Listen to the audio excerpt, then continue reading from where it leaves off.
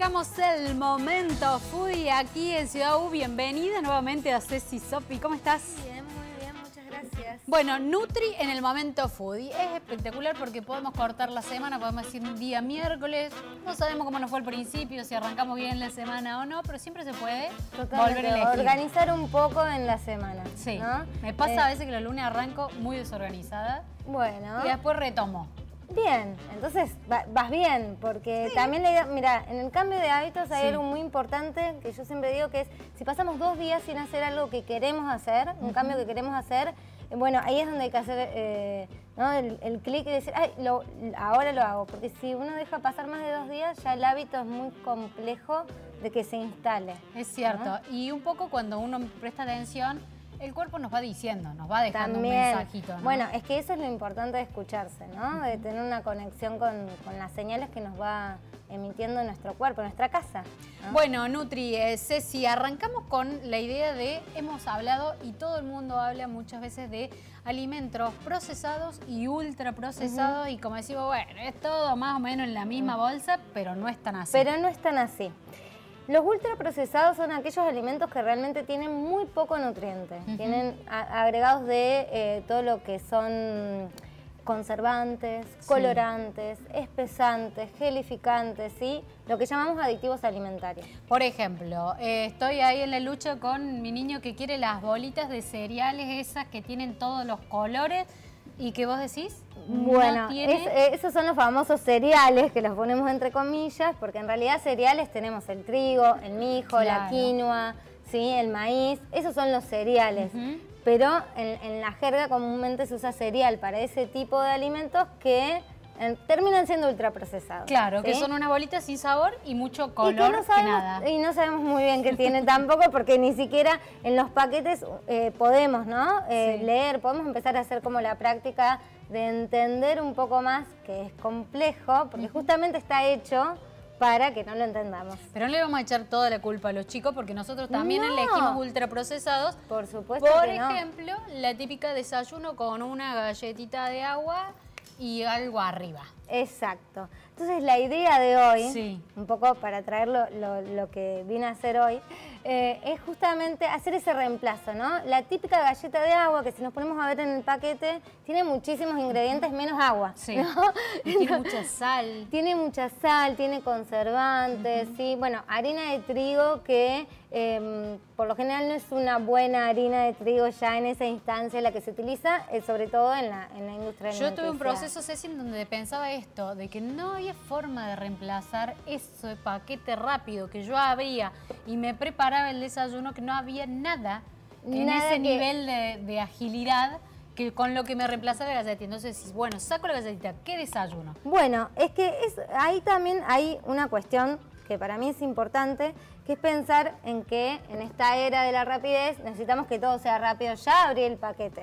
Y para eso hace falta la organización, que es un Claro. poco lo que viene previo, ¿sí? Porque esto la verdad que no lleva mucho tiempo, pero implica quizás un rato más que abrir el paquete. Pero una vez que lo haces, puedes tenerlo listo para ese momento, ¿sí? ¿Esto qué es lo que vamos a hacer? Vamos a hacer unas crackers de garbanzo. O sea, ¿sí? siguen siendo galletas, pero Son galletas, hechas en casa. pero hechas en casa y además con muy pocos ingredientes podemos ir a... Ahora vamos a ver, podemos tener variantes, pero lo importante es que yo sé qué es lo que le estoy poniendo y que a su vez esta harina Sí. me va a proveer nutrientes, ¿sí? Muy importantes. A ver, ¿sí? esta harina, que es harina de garbanzo, Acá tenemos harina de garbanzo, es muy diferente a la, harin- a la harina de trigo porque tiene qué?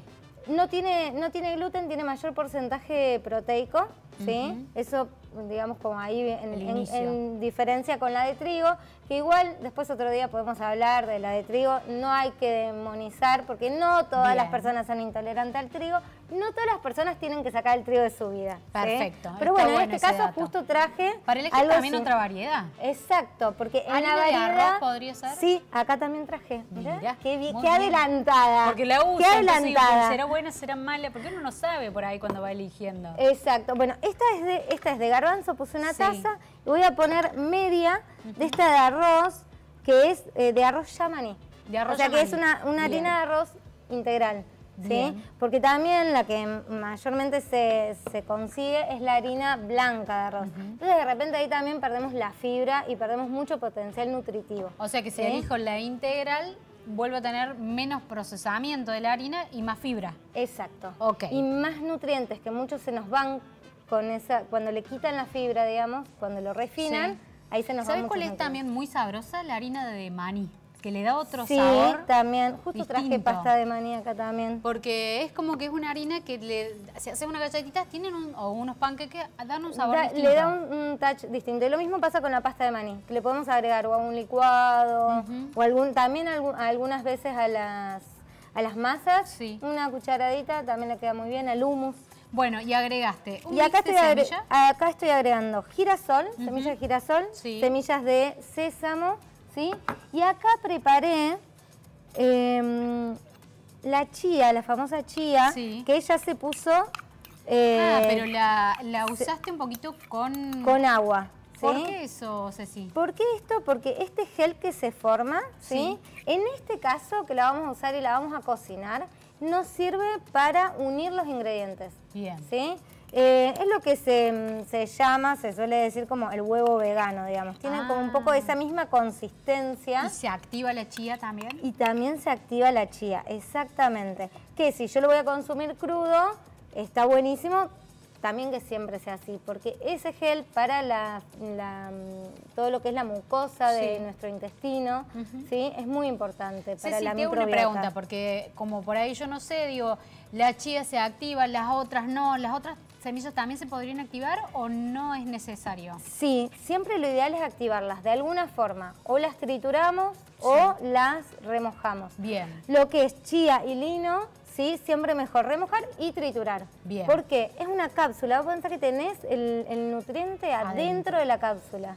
Y si no lo eliminamos, tal vez. Y te perdés, te perdés de que el cuerpo pueda absorber calcio, hierro.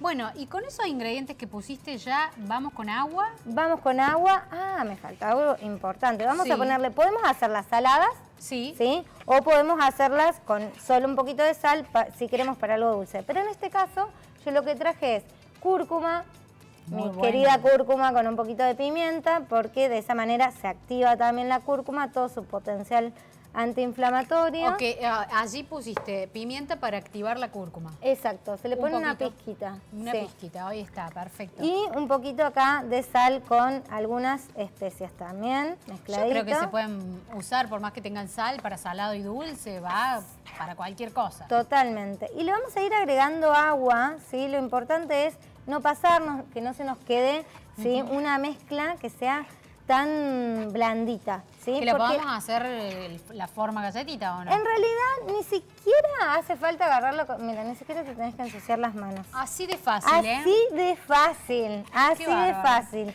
Porque si esto lo mezclamos bien, estos ingredientes, sí. después lo vamos a pasar, yo en este caso traje esta plaquita que es para horno, eh, la vamos a, eh, le vamos a poner un poquito de aceite, en este caso sí, porque necesitamos para, que, no, se, nos pegue, y la llevamos al horno, pero ves que acá ya se va formando y yo la puedo directamente distribuir ¿sí? en la placa. Quedaría no líquido, sino estilo una masa quebrada, una masa que se pueda poner allí a armar directamente. Exactamente. Bueno, me encantó esto. Yo ahora quiero probar, porque es como uno dice, uy, mira qué lindo, qué fácil, y después se tiene que ser también agradable al paladar. Exacto, y sí, y esa también es un poco la idea que tenemos a veces de los alimentos saludables.